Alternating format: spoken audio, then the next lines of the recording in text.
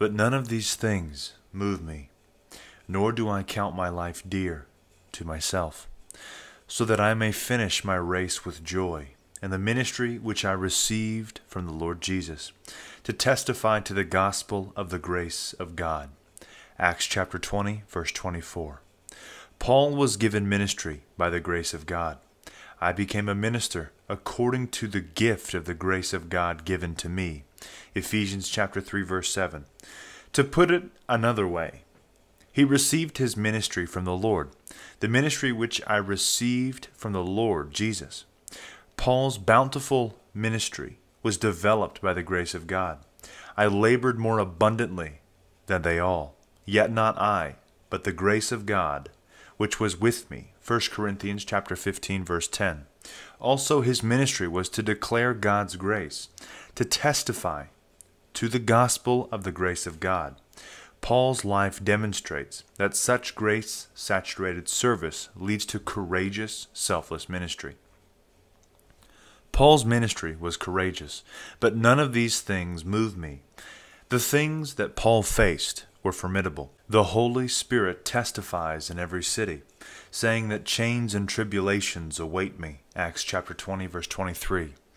Down through the centuries, matters less substantial than these have moved many a professing Christian from completing his calling. Yet by leaning upon the sustaining grace of God, Paul courageously endured great hardship and danger in the service of the gospel of grace.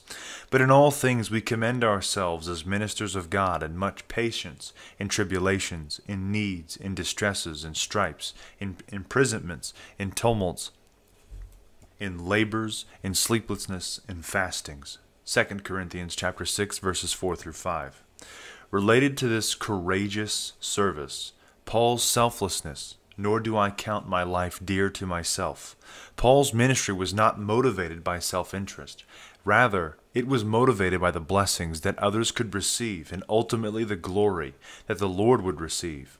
Paul was content to have his service be no more than a spiritual enhancement to the godly service of others. Yes, and if I am being poured out as a drink offering on the sacrifice and service of your faith, I am glad and rejoice with you all. Philippians chapter 2 verse 17.